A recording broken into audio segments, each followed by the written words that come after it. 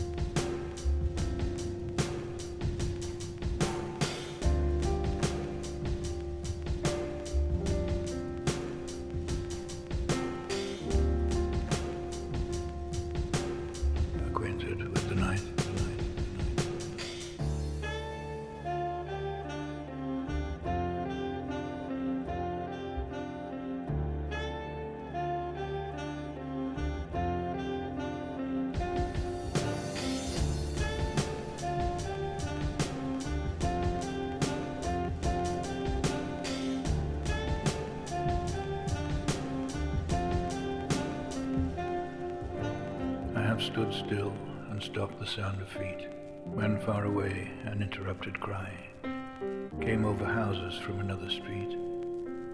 But not to call me back or say goodbye, and further still at an unearthly height, O luminary clock against the sky, proclaimed the time was neither wrong nor right. I have been one acquainted with the night, the night, the night.